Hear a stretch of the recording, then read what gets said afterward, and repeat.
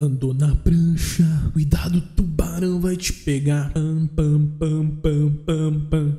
É mentira!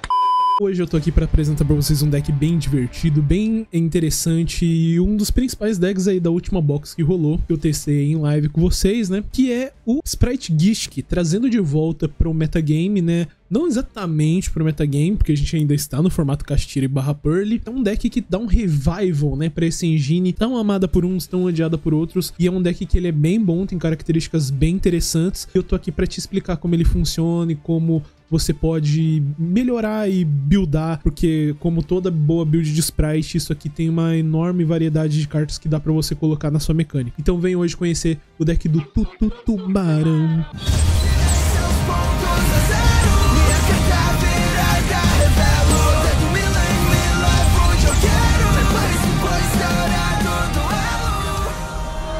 Mas você já conhece a Liga Yu-Gi-Oh!, o maior marketplace de cards Yu-Gi-Oh! do Brasil, onde fazendo compras até 100 reais mensalmente, você concorre a premiações na Liga, onde usando meu código promocional GRIL, além de você ajudar demais o canal aqui, você dobra os cupons que você ganha, aumentando ainda mais a chance de você ganhar essas premiações realizadas na Liga. Procurando um lugar seguro e com os preços mais acessíveis, acesse o link na descrição aí e use o código promocional GRIL, não esquece, e agora de volta ao vídeo. E certo, a gente tá aqui no modo solo e eu vou explicar pra você qual que é a sequência geralmente que você precisa fazer pra chegar no seu full combo. O full combo desse deck consiste em você ter acesso ao Severe Snape e ter alguma maneira de ter extender, seja via engine de sprite ou seja a própria via é, a engine do próprio deck em si, né? Tudo que você precisa, tudo que você precisa é trazer aqui abismo através do Severo. E aí, esse abismo ele vai conectar pra você o que você precisa. Por exemplo, na minha mão aqui, eu já tenho Sombra Gishk. Então eu vou pegar o Visão, porque ele é o que tá faltando. E nesse combo aqui especificamente, eu poderia juntar na Elfa, e a Elfa me traria de volta nosso querido herói ali. Só que como me falta o Extender, eu, eu preciso primeiro conectar aqui e ter um corpo a mais na mesa, certo? Eu preciso ter um corpo a mais na mesa ali pra eu fazer essa jogada que eu quero fazer. Então o que eu vou fazer é o seguinte, eu vou linkar aqui na Elfa, vamos linkar aqui na Elfa. É, eu, eu dou o efeito do visão, né? É sempre dando prioridade no seu primeiro turno ao Aqua espelhado aqui. Calma, ainda não. Eu dou o efeito da Elfa e vocês vão entender como que é fácil esse deck abusar do efeito do, do Abismo. Você traz aqui o Abismo Gishk, o Abismo Gishk vai dar efeito dele e vai pegar aqui outro do próprio Severo. E aí nessa do Visão, perdão, né? E o Visão aqui ele vai pegar outro Neremanas. Ele vai pegar outro Neremanas e aí eu vou usar um Neremanas pra trazer o outro. Olha só que coisa, né? Eu tributo o Neremanas, eu poderia tributar aqui o Visão, mas eu não preciso. E eu vou trazer o próprio Neremanas. Eu trago ele aqui, dou o efeito dele, que ele vai poder reviver alguém, e eu vou reviver então alguém nível 2. Eu revivo aqui o nosso herói, e a partir daí a minha engine já tá rodando. É isso, geralmente é esse setup aqui que você quer chegar, certo? Você quer ter o Neremanas, a Elfa aqui em cima, e os seus dois monstros. Óbvio que no Yu-Gi-Oh! real, levando hand traps e tal, não é sempre esse setup. Geralmente você vai precisar usar essa elfa. Mas é que como você não tá usando três elfas, que você poderia também fazer no seu deck, eu gosto particularmente de deixar a elfa aqui em cima enquanto você tá jogando. Porque é uma economia de cartas um pouco melhor. E aí o seu o gigante que ele vai conectar com a engine de sprite. A engine de sprite conecta aqui. E eu sempre gosto de, no nosso jet, pegar aqui a starter trazendo a Carrot. Porque como vocês podem ver, eu consigo fazer IP Mascarena, eu consigo fazer o Neremanas, e é que interagem bem com o monstro, né? A IP vai embaralhar uma carta, o Neremanas vai poder é, negar um embaralho no monstro, só que por Triple Tactical Talents, é, confronto justo, etc. E essas cartas são um pouco problemáticas aí pra família brasileira. Mas aqui eu vou mostrar pra vocês o combo mais forte possível, certo? Pelo menos dessa versão que eu tenho pra mostrar. Você vai trazer os dois, certo? Você vai trazer os dois, dá o efeito do espelho. O efeito do espelho vai poder pegar aqui a segunda cópia de Neremanas pra mão e ela vai ser importante por diversas razões. E aí eu vou poder dar o efeito aqui da é, da starter trazendo a Carrot. Por quê? Porque ela é a carta que eu quero ter acesso pela engine de sprite. E aí eu junto na Pit Night Early, na Cabe Cavaleira. E dessa forma aqui, aparentemente eu tenho uma, duas, três e quatro interações, porque isso aqui vai reviver a Carrot, porque é a sua preferência, né? Mas a gente passou aqui pela nossa enfoque Aqua Espelhado. E aí na fase final, pelo segundo efeito dela, você vai trazer do seu deck diretamente a ilusão. E essa ilusão vai poder invocar essa segunda é, Neremanas na mão. E por que, que esse, esse deck ele é tão consistente e o combo dele é tão interessante? Porque esse aqui é o setup geralmente que você faz. Olha só que, que safado esse herói mundial aqui, né? Eu vou. Eu, sei, eu tô levando muito a sério, né? Pô, o, o cara tá jogando. Tô jogando contra o bot. E aí, é, pra exemplificar aqui pra vocês, né? Eu dei o efeito da Elfa, eu poderia negar aqui, certo? Eu nego a Alistair Cinza aqui.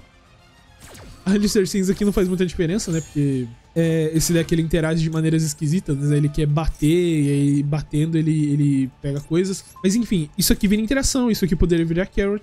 E verdade, né? Esse deck aí. E aí, ó, dando outro exemplo, né? Ele deu o efeito da mão. Eu vou dar aqui o Neremanas, o Neremanas vai negar. Ele se volta pra mão. E ele vai embaralhar a carta no deck, ó. Se liga, ele embaralhou. Resolveu, eu já desço de novo o, Nereman, o Neremanas. Hello, Neremanas está entre nós. Ah. E, ou, ou, seja, nessa sequência, passando pela, pela buscadora do deck, você tem dois negações de monstro embaralhando carta. Tipo assim, ridículo. Ridículo, ridículo. E pô, já usei a Elfa, já usei os amigos ali. Eu ainda tenho, olha só que legal. Eu ainda tenho um unicórnio, potencialmente, né? Eu tenho um unicórnio comprando cartas por causa do da Cabe Cavaleira. Eu descarto aqui. E aí o meu unicórnio vai embaralhar uma carta e por causa da setinha dele ele vai comprar um card. Olha só que interessante. Tá no fim da fase principal, pô, é isso aí. End phase. E olha só, eu descartei com o unicórnio isso aqui. Eu vou poder setar de volta a trap. Ou setar qualquer, por exemplo, meu oponente jogou. Eu posso, eu poderia setar aqui uh, isso aqui pra ter de volta Neremanas pra mão. Porque lembra do efeito da trap. A trap, é, se você der o primeiro Neremanas e ele volta pra mão, a trap ela vai voltar esse Neremanas pra sua mão nem de phase. Então você não vai ter essa proteção. E aí o unicórnio vai. comp compraria, né? Caso ele tivesse linkado ali mais, compraria um card a mais. Mas aí, pô, é só alegria. Você dá o efeito daqui do. Isso aqui de novo. Dá o Neremanas. Tributando. No caso, eu vou tributar aqui o Visão, porque dá pra manter esse, aí, esse amigo aí na mão. E pá, o vai entrar de novo. Caso eu quisesse combar mais, eu poderia trazer de novo o Abismo aqui. Traz o Abismo de novo, o Abismo vai dar efeito de novo. Eu já tenho Severo, então pega aqui o Sombra. Caso o meu oponente tivesse o monstro, eu poderia dar o Sombra, certo?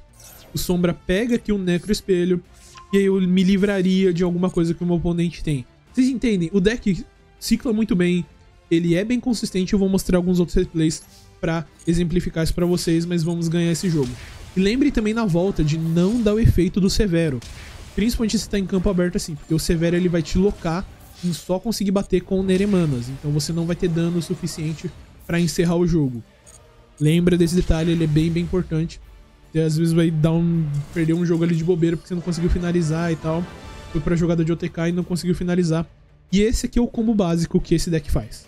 Fala aí, aqui, bem-vindos a mais um vídeo de Yu-Gi-Oh! Master Duel e hoje eu vou apresentar pra vocês a build que eu usei de Sprite, como eu carinhosamente escrevi ali, que é o Sprite Gishki, que é um tema de ritual lá das antigas, se eu não me engano de 2014, que ganhou suporte agora e é um deck que tem toda uma mecânica ali de ritual, inclusive ele é bem famoso e famigerado por Hand Loop, né, descartar cartas da mão do oponente. Porém, a versão de Sprite especificamente não foca muito nisso. Se você tem interesse nessa versão, comenta embaixo que quem sabe eu não dou uma brincada com ela, também trago aqui pra vocês. Outra coisa bem interessante que é, dá pra você falar dessa mecânica, ela não é muito cara, ela é bem barata. Tudo que você precisa da nova box são dois Neremanas e três do seu, da sua magia de buscador. Porque de resto, as URs são as URs que você geralmente já tem no Sprite. Então ele é um deck bem, bem acessível, cara. Mas vamos lá, sem enrolar vocês muito mais, explicar como essa mecânica funciona. O deck, como um bom deck antigo, ele tem aquela famosa, aquele famoso defeito de não ter uma vez por turno escrito na carta. Por ser nível 2, e ter toda essa mecânica com Gish, que a sua elfa reviver coisas todo turno, o seu gigante que poder trazer do deck, você vai abusar aqui do nosso querido Tutubarão, o Abismo Gishk. Quando este card for invocado, adicione monstro Gishk com mil ou menos de defesa do seu deck à sua mão,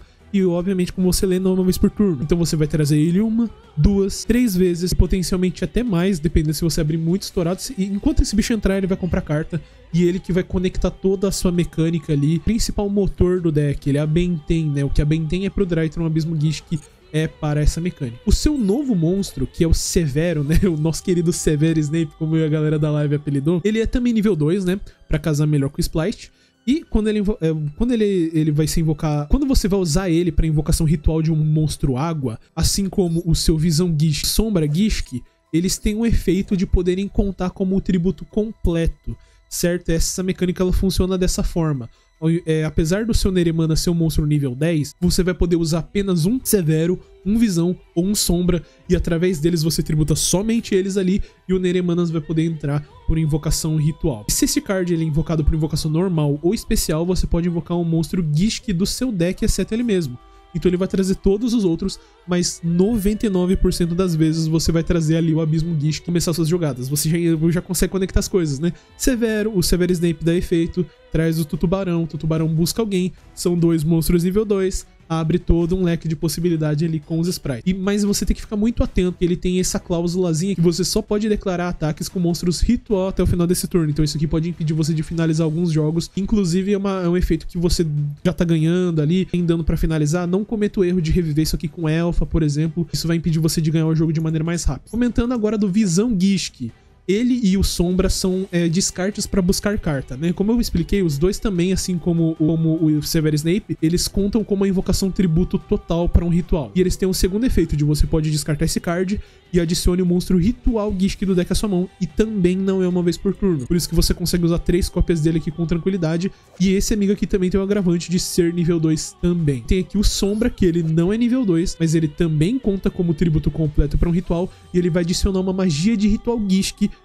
e também não é uma vez por turno. Então você percebe, essa mecânica tem todos esses agravantezinhos aí de é, não ser uma vez por turno, todo mundo se buscar ali, pô, legal. E, e apesar do Abismo Gishk não buscar as, as magias e armadilhas, ele vai poder buscar o, o Sombra e o Sombra busca as magias, entendeu? E essa é a parte legal. Temos o boss monster do deck, que é o Neremanas, um monstro nível 10, 3000 de ataque, 1800 de defesa, e esse monstro que é muito bom, é uma das melhores interações que a gente vai ter no metagame atual. Você pode invocar ele por invocação ritual usando um Gishk, etc, etc. Note que é interessante, né, que uma coisa que eu descobri na live jogando com as pessoas, apesar dele ser um ritual, tá escrito você pode, não você deve invocar. Isso vai interagir com, uma, a, com a trap do arquétipo e eu explico para vocês daqui a pouco. Este card for invocado por invocação ritual, você escolhe o monstro água do cemitério e invoca por invocação especial. E isso também, né, como uma boa carta de Gish, que não é uma vez por turno. Então, ele, ele é muito legal porque ele é o seu boss monster, ele é um monstro que você quer descer na mesa, mas ele é outra maneira de reciclar o abismo Gishk. Então você vai descer esse amigo aqui, vai é, reviver o abismo, e aí você, ou numa situação desesperadora, você tem um monstro nível 2 e um monstro ali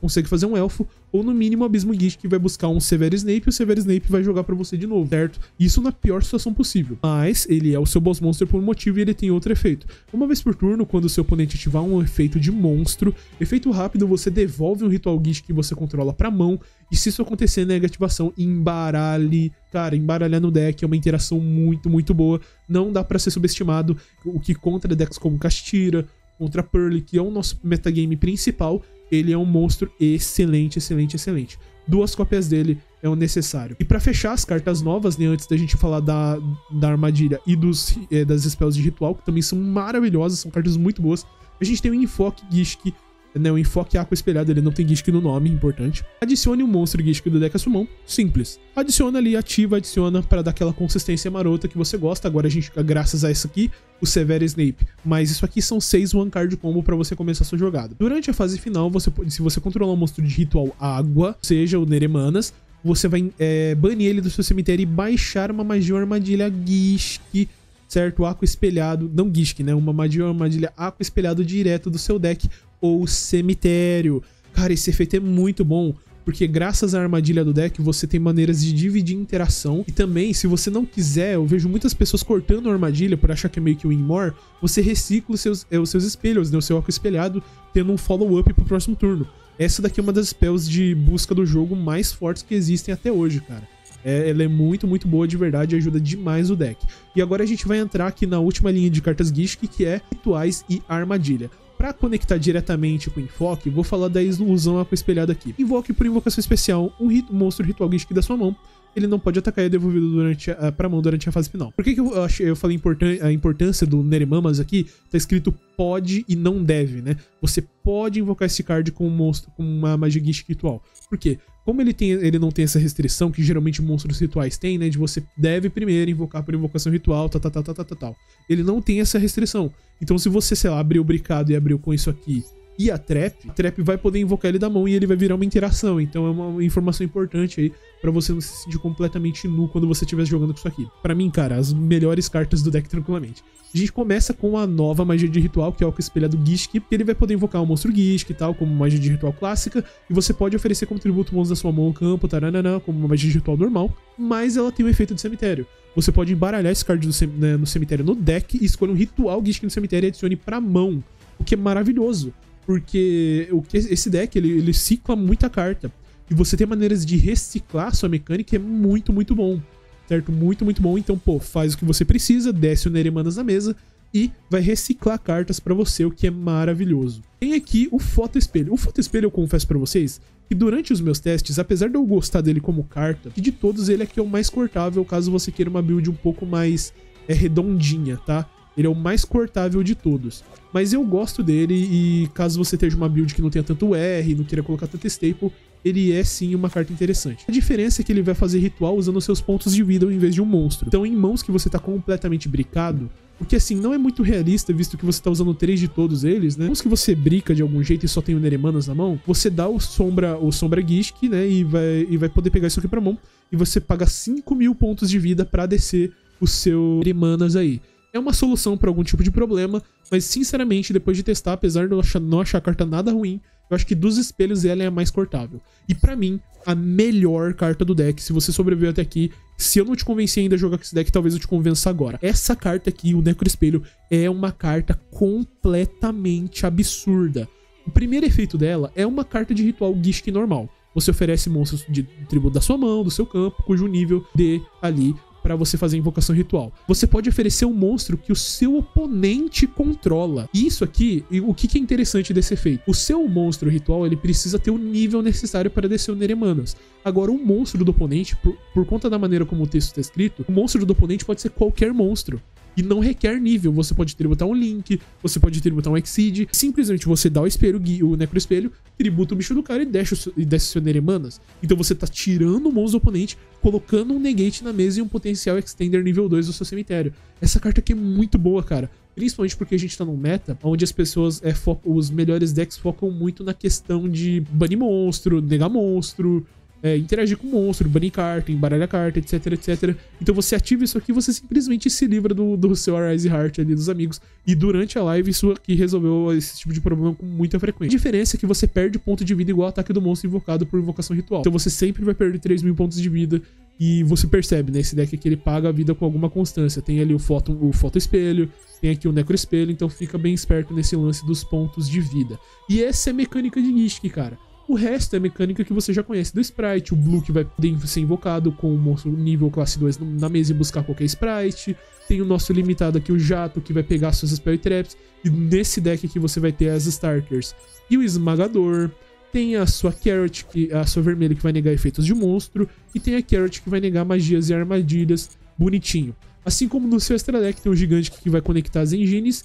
E tem a, a elfa que vai reviver monstros todo turno e manter os monstros que ela aponta protegidos de efeitos que dão alvo do seu oponente.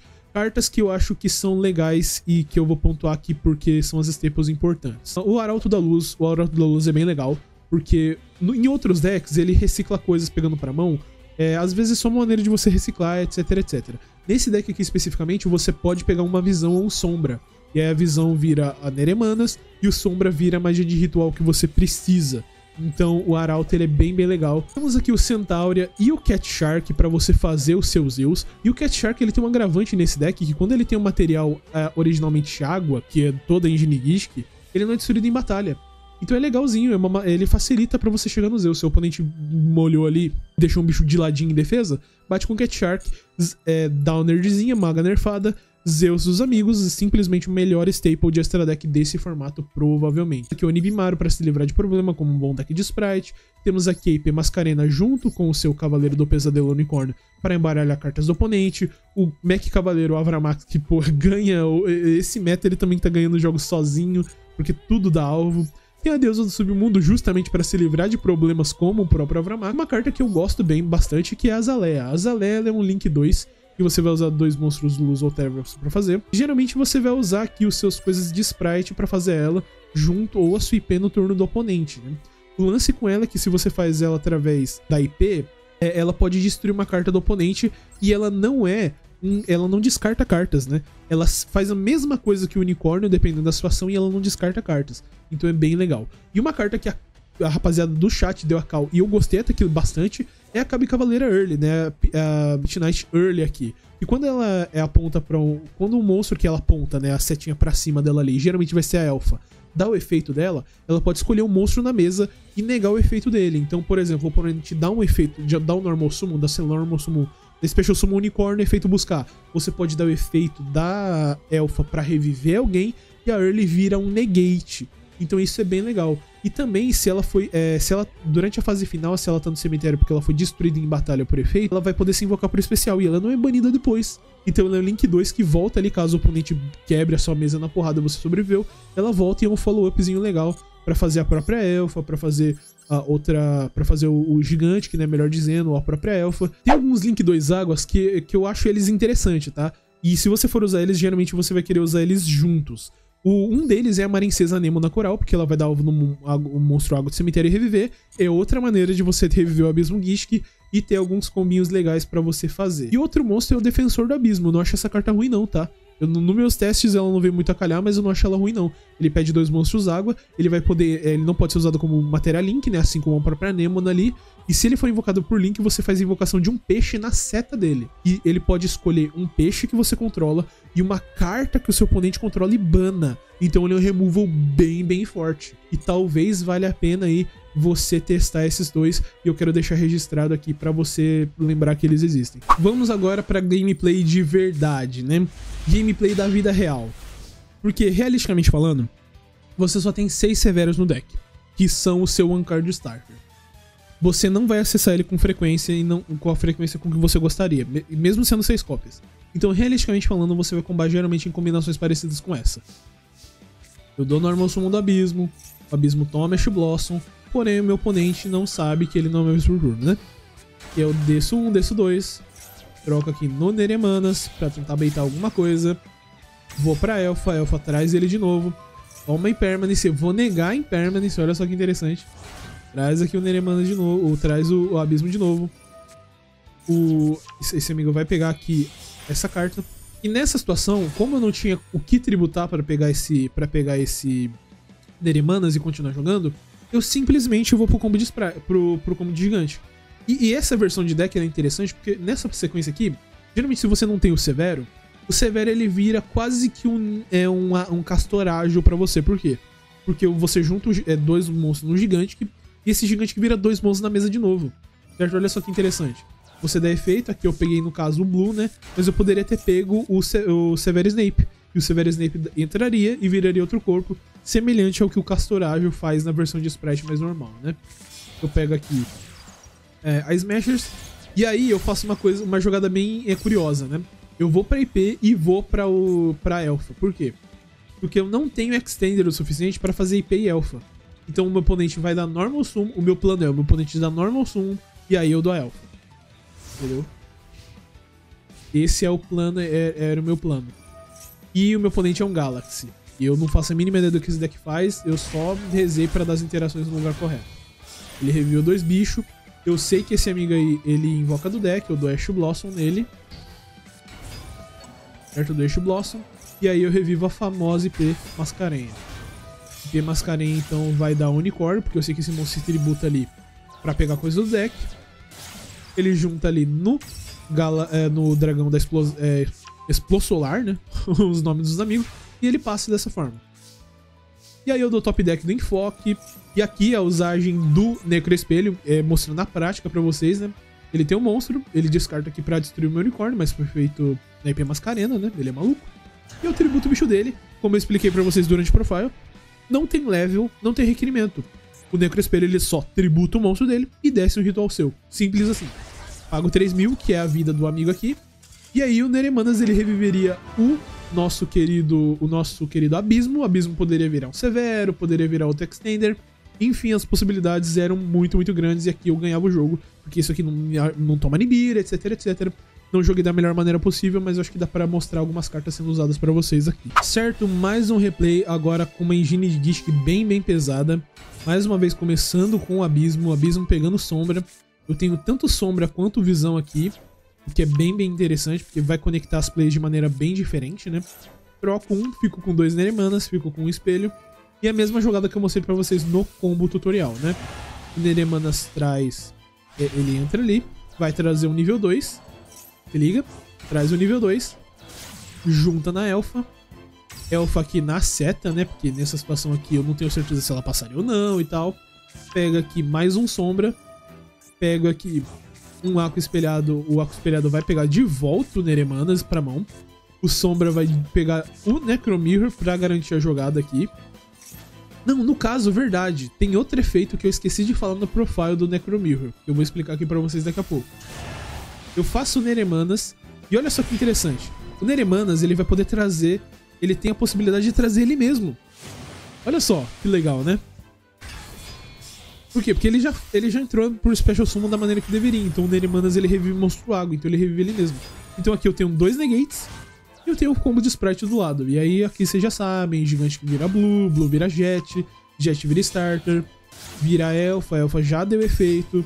Eu dou aqui, como eu expliquei ele pra vocês antes. E aqui o efeito secreto do Necroespelho que eu esqueci de falar pra vocês durante o profile. O Necroespelho ele pode escolher aqui, ó, vou ler pra vocês. Ele pode escolher um monstro Gishk no cemitério, coloque ele no é, coloque ele e esse monstro no fundo do deck. Então ele também é uma maneira de reciclar cartas. Certo? Ele também é uma maneira de reciclar cards. Reciclo os dois e eu passo dessa forma por quê? Porque eu não queria, eu queria não tomar, não tomar é, coisas como Evenly, é, TTT, etc, etc. Aí o meu oponente vai dar coisas ali. Eu vou dar. Olha só que interessante essa jogada, né? Eu dou, eu dou a Maxi na main phase mesmo do cara, né? Eu devia ter dado antes, admito, pra jogar de tribo tática, mas o meu erro foi compensado.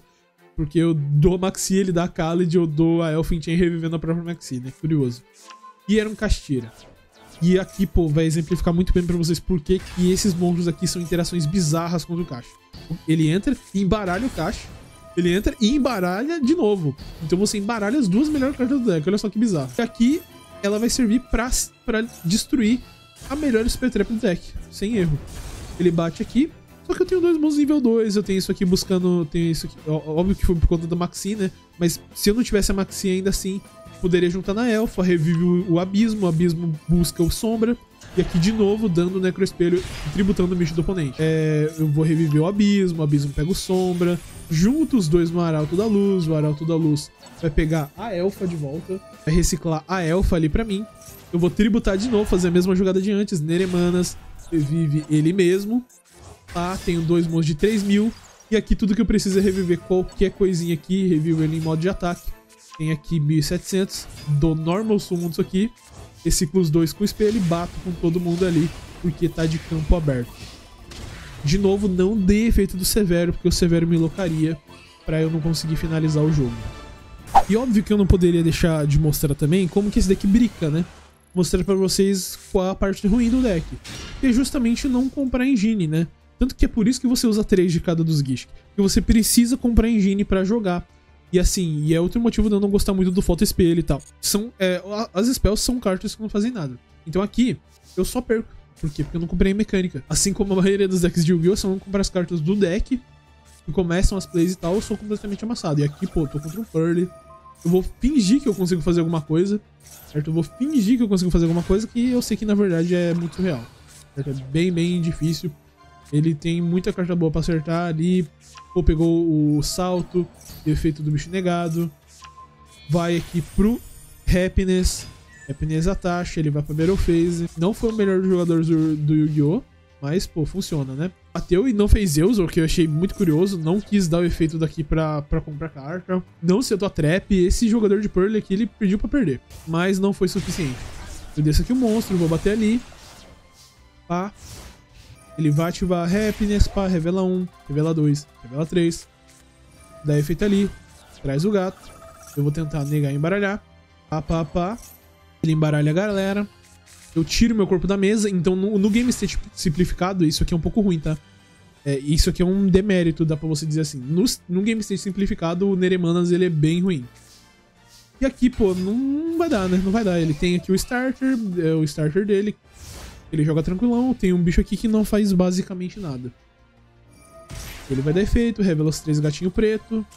E aqui eu só vou embora porque não tem o que fazer. Ele, ele faz o happiness, bate, bate, bate, bate, bate, bate, bate, até eu ficar aqui triste e tonto, né? E é assim que esse deck perde. Pensamentos finais. É um deck que ele é relativamente consistente, ele, como eu mostrei no último replay, ele tem os seus probleminhas aí de consistência, né? O Sprite ele tenta resolver isso daí, mas ele é um deck com um potencial bem interessante, ele é muito sólido. Para o melhor de um, eu acho que ele é bem legal, ele tem um espaço de tech bem interessante, ele tem coisas na mecânica dele que ajudam no Go Second, o que eu aprecio bastante.